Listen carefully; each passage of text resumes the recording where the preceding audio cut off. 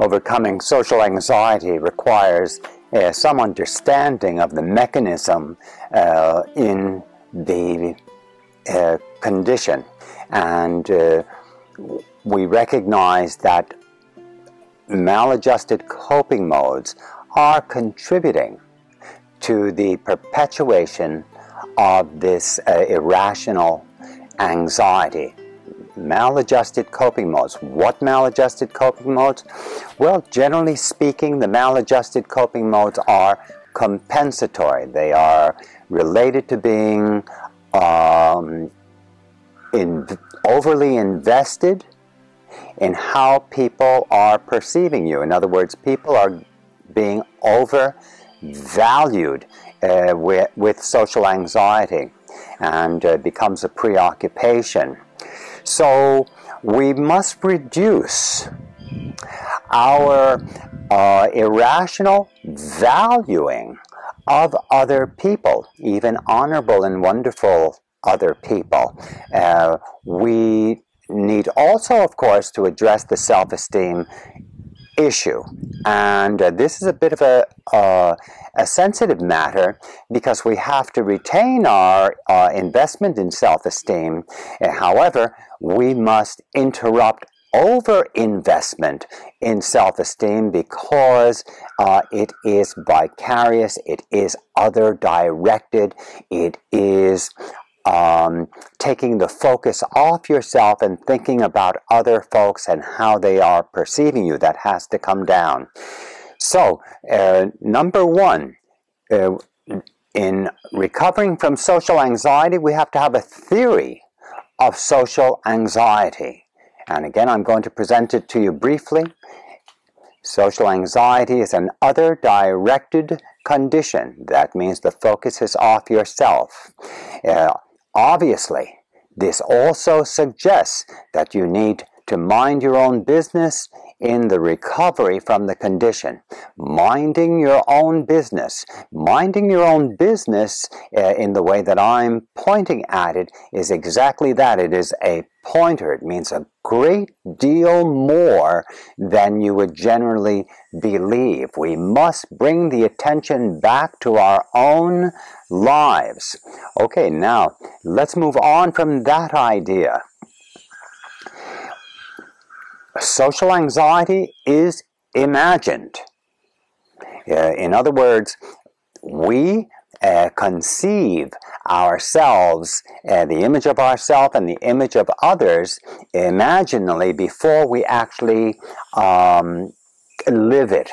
Uh, so the um, the recovery, the intervention, is in fact uh, imaginal. We must work intrapersonally rather than uh, interpersonally. Of course, interpersonal uh, interactions are uh, relevant. however, the focus, the work lies within ourselves. We need to get in touch with ourselves.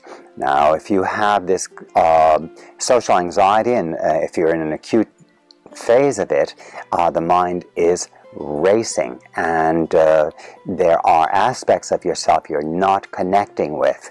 So uh, we have to begin to uh, calm down. My, uh, uh, I'm encouraging everyone to recognize that you need to be still and uh, work contemplatively in the recovery process.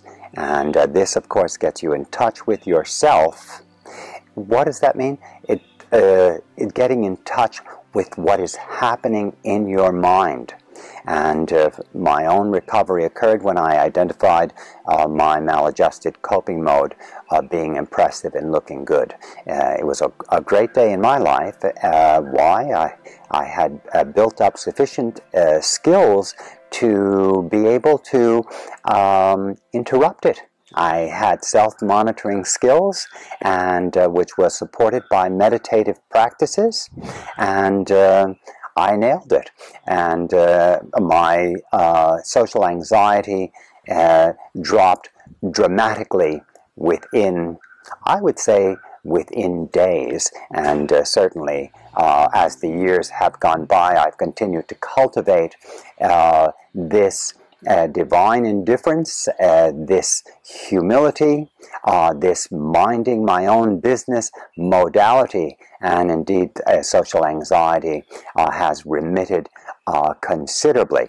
Now, you, the idea of getting rid of social anxiety, getting rid of other directedness is not a good idea. We need all the cards. so, uh, we do not get rid of anything, even a maladjusted coping mode. We simply divest from that coping mode. Okay? So we're talking about getting in touch with yourself, and uh, we're also speaking about maturing. Yes, um, why uh, do I organize it that way? Well, the maladjusted coping mode, for example, looking good and being impressive, which is other directed, uh, tends to be a coping mode that uh, is initiated uh, when we are youngsters. Uh, and what happens is that we are, uh, it just continues to um, function in our adulthood, and uh, it is a uh, child-like coping mode. You know, looking good, being impressive, um, something in us uh, that we actually want to keep. Uh, however, uh, we must make that divestment. And also, we have to identify it. The identification of our maladjusted coping mode provides the uh, the ability to see it rather than see through it. Get that idea? In other words, uh, the maladjusted coping mode uh, becomes uh, is a modality. A modality. It's like a lens we look through, a lens in which we conceive our, our self-concept, um, our worldview, and, and the values uh, in, in the moment. And uh, so pulling back, getting some psychological distance on the maladjusted coping mode is, uh, is critical. And the process of really seeing it is in fact part of the liberation process. We actually, uh, we see it, we don't try to get rid of it. There's not an avoid avoidance. We do not reject it uh, or expel it. Uh, we simply put it in its place. We give it a place, and um, and that provides us the ability to accept it, to um, include it, and then we transcend it. We move along uh, with our lives. moving along to minding our own business and beginning to follow our own um, personality, our own inclinations, much closer to the authentic condition that uh, we were always meant to abide in. So we've touched on a couple of theories. I just want to go over it. Number one, uh, social anxiety is other directed. We need to mind our own business to get better.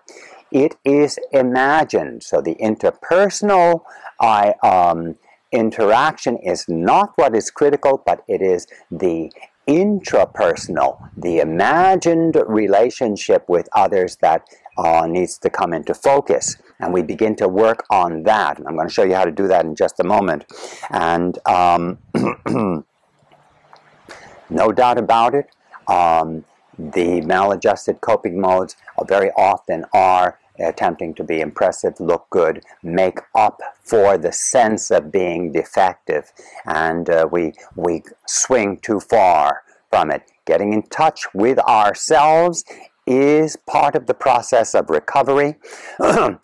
Generally speaking, my recommendations is that you learn contemplative skills. In other words, that you learn to meditate. What type of meditation? Zazen, which is Zen meditation. Insight meditation is another one uh, that comes from the uh, Hindu tradition, and uh, it's a very fine uh, type of meditation, insight meditation called Vipassana. And also the self-inquiry uh, disciplines are uh, in very usable in this liberation process.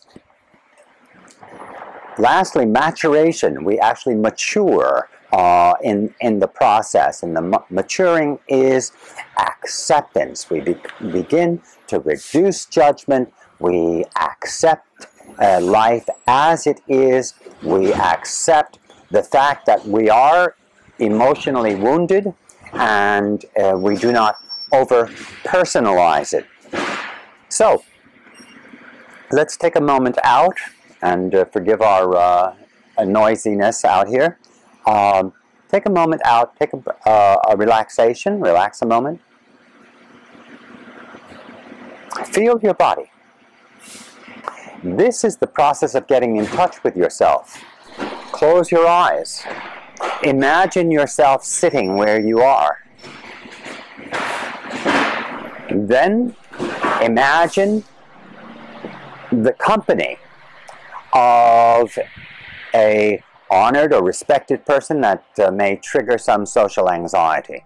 So you uh, see yourself, you imagine that other person, and you um, relate to that image. And in that imagined relationship, you're going to um, arrive at a divine dispassion, at a, at a divine indifference about the person. You're going to horizontalize your relationship with that person, accept the person, and let's do that now. You're going to have that person go right to your side and uh, there you are in your imagination, the image of you and the image of the other person. The other person is now shoulder to shoulder with you, looking in the same direction. Now you fully withdraw your attention from that image, bringing your attention back to yourself, fully eliminating any other image in your mind, only with you, and we come out of the, uh, out of the practice. That's imaginal exposure. I, I know it's a briefing on imaginal exposure, but if you get the idea, uh, that's how to practice. I have practiced it myself, and it is highly functional. It is how to do it. We believe we're in a circumstance, we're actually in an imagining uh, in our social anxiety situation.